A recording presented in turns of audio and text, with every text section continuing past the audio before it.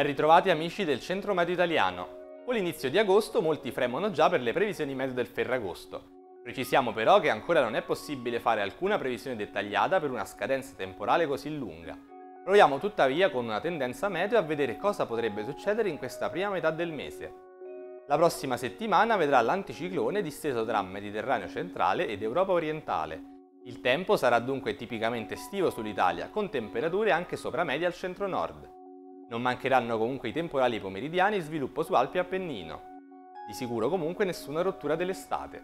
A seguire, e quindi in vista del Ferragosto, entrambi i principali modelli mostrano un anticiclone meno invadente in sede mediterranea e dunque una maggiore probabilità che una saccatura atlantica transiti sul nostro paese.